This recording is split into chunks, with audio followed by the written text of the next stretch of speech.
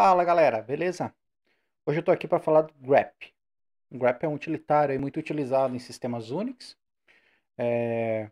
Servidores, geralmente você precisa pesquisar algum, algum arquivo, conteúdo de arquivo, alguma coisa, e você consegue fazer utilizando o grep. Né? Ele tem, ele é... Você consegue passar várias é, comandos de várias, de várias formas para ele, filtrar conteúdo, é, utilizando regex, enfim. É um utilitário muito poderoso aí.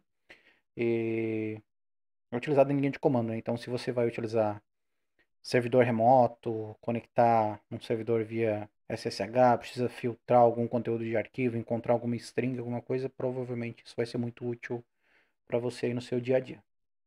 Beleza? Vou falar um pouco dele, mas antes não esqueça de se inscrever no canal, deixe seu like e se tiver alguma dúvida, alguma coisa sobre os comandos, é, deixa nos comentários que a gente responde a seguir, beleza? Então vamos lá. Tem uma listinha mais ou menos de algum, algum, alguns conteúdos que eu vou tentar mostrar. Tem alguns exemplos de busca, né? Eu tenho algum, eu já tenho aqui um diretório com alguns arquivos.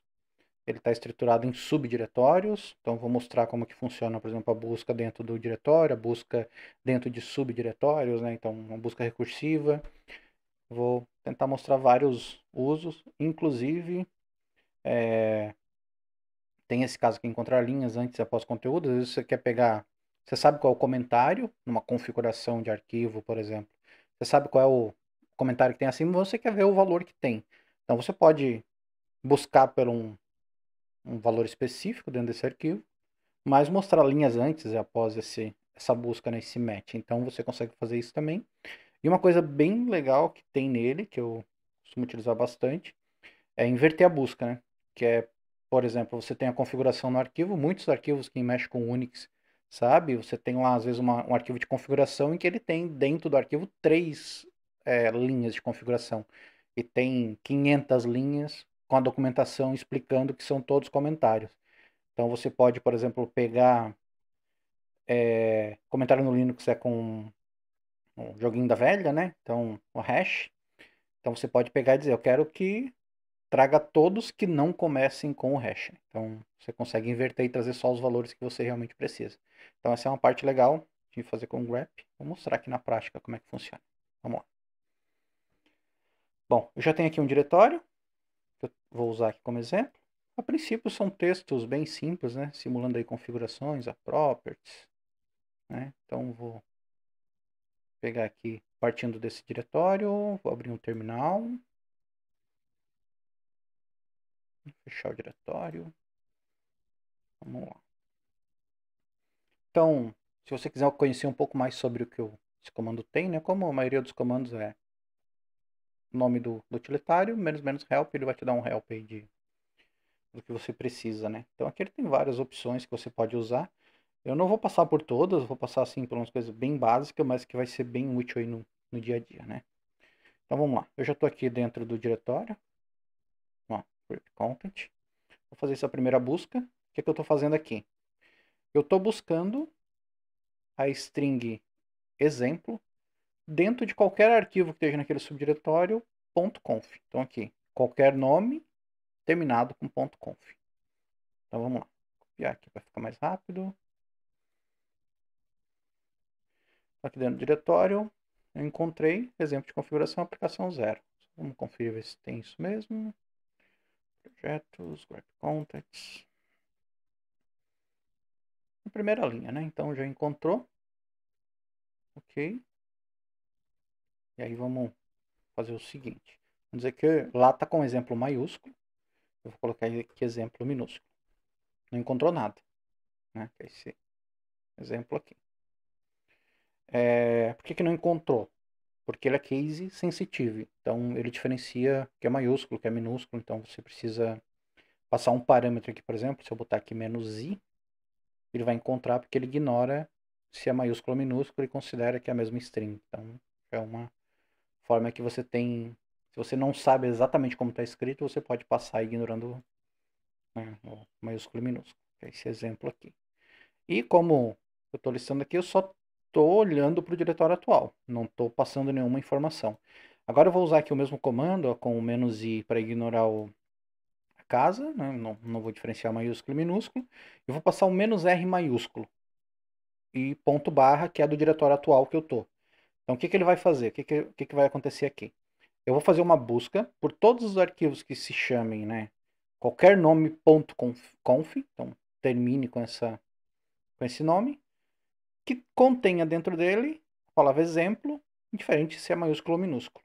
E o menos R, o que, que ele vai fazer é recursivo. Então ele vai entrar em todos os subdiretórios a partir do diretório atual e vai tentar encontrar um arquivo. Então vamos lá. Eu já tenho aqui configurado, menos R, ponto barra. Ponto barra quer dizer, ponto é o diretório atual, né? Então só estou passando isso. Agora que eu tenho tudo que eu. Todos os subdiretórios em que deu match, ele vai me mostrar a palavra e também vai dizer qual é o arquivo, né? Então aqui ó, dir1, subdir1, app2conf, no readme. Então todas as configurações estão aqui. Beleza? Aqui é a mesma coisa. Aqui a diferença é que eu vou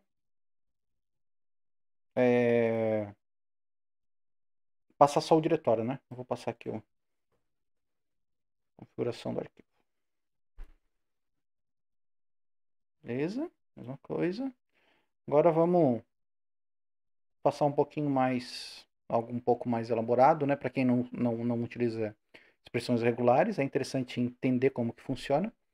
A expressão regular é um, uma ferramenta poderosíssima aí para você fazer buscas né, de string, fazer match de, de informação, que você tem aí a... Você consegue fazer coisas dinâmicas, né? Por exemplo, esse exemplo que eu vou utilizar aqui é grep menos E maiúsculo, ele vai avaliar isso aqui como uma expressão regular e vai procurar recursivamente do diretório atual em todos os subdiretórios. O que, que eu vou procurar? Property name em que termine, seja property name 4 ou 3. Então é isso que eu vou fazer aqui. Né? Isso aqui é a parte da expressão regular. Vamos reset aqui. Que, que ele me trouxe aqui. Tudo que tem a property name, 3, 3, 4, 3, 3, 3. Posso mudar aqui, por exemplo, para 4 e 2. Então agora eu tenho, tenho 2, tenho 2, 2, 4, 2 e 3. Que não importa a ordem, né? A expressão regular aqui, o que, que eu estou dizendo, né? Que seja, começa com property name, tenha property name né, no, no valor, é, e tenha 3 ou dois, né? Esse pipe aqui ele está dizendo ou um ou outro, né? Então ele está fazendo essa busca, não importa também a ordem que ele está, que você define aqui os valores. Então é isso. Vou pegar aqui mais um exemplo. Agora aqui passando para parte de buscar, mostrar linhas, né? Antes e depois. Vamos pegar aqui esse exemplo aqui.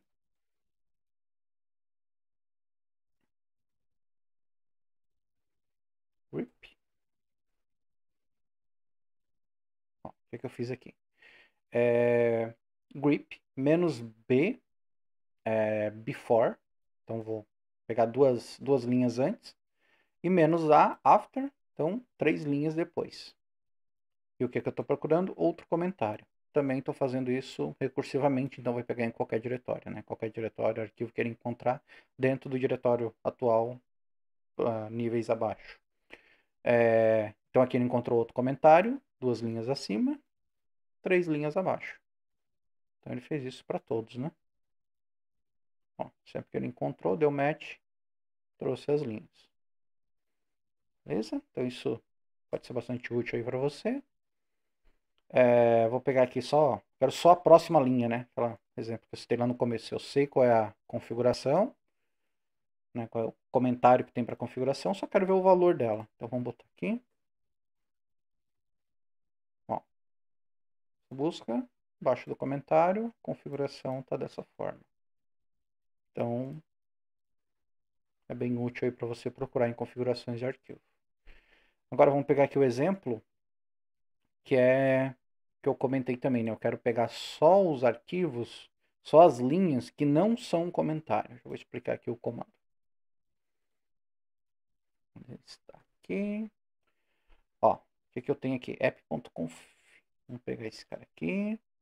O que, é que eu tenho aqui? Eu tenho comentário, comentário, comentário, comentários. Ok.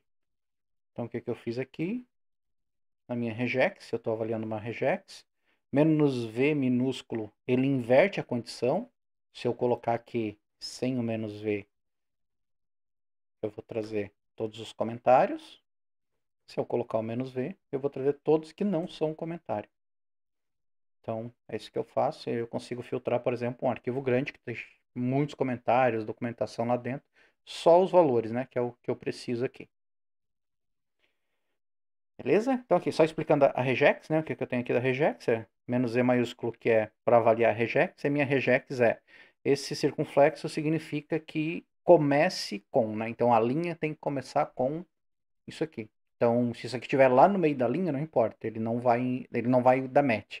Só vai dar match se isso for começo da linha. E aí um ponto também que pode ser um problema, nesse caso aqui da busca, né? Se eu tivesse aqui, se a linha começasse com espaço depois um, o hash, ele não encontraria porque ele considera que deveria a linha começar com o hash. Beleza? E aí agora eu vou dar um outro exemplo aqui, que é você utilizar o pipe, é, não só para o grep, né, mas terminal, Linux, acho que, não lembro se, se no Windows também funciona assim, mas depois pode deixar nos comentários. É, mas de forma geral, Unix, você pode usar o pipe, que é esse carinha aqui, para redirecionar conteúdo para um outro comando. Né? Então você faz um redirecionamento de um conteúdo para outro. E aqui eu vou dar um exemplo. Eu vou pegar aqui cur. Vou pegar aqui o cur é um utilitário para usar em terminal para fazer consultas HTTP, né? Você consegue se comunicar com a internet. Então esse, esse link aqui é um link lá do GitHub da, da Quave, né? Que tem lá um, uma biblioteca, Collections, que é utilizado no, no Meteor. E eu estou pegando o conteúdo desse arquivo e vou printar na tela. Bom, ok. Então essa é a minha saída do comando. Só que o que, que eu quero fazer? Eu quero redirecionar essa saída para o grep, porque eu quero identificar uma string ali dentro. E nesse caso eu quero identificar aqui, vou pegar o comando inteiro, ó. Vou lá, Eu quero saber aqui. É, eu vou pegar minha saída, vou passar para o comando grep, daí eu não passo nenhum arquivo, nem uma busca, ele já vai saber que ele está recebendo via entrada padrão, através do pipe. E eu quero listar todas as linhas em que eu tenha um if fazendo uma negação. Então, vou fazer isso aqui. Isso aqui é do é, é log do, do próprio cur. Dá para ocultar isso também, é só um exemplo aqui. Depois, quando for falar alguma coisa sobre Cur, eu posso é, mostrar como que oculta essas informações. Mas aqui está o resultado do meu, meu grep, né? Ó, todos que tenham if e tem uma negação. Ou também posso pegar aqui todos que tenham um if. Eu tenho mais coisa. If definition, instance, é isso. Então, dessa forma, você também consegue pegar conteúdos da internet, filtrar, você consegue ver isso utilizando combinação de comandos, né? utilizando pipe. E é isso. Espero que tenham gostado, espero que seja útil para vocês aí quando precisarem buscar algum conteúdo. Né? Até a próxima.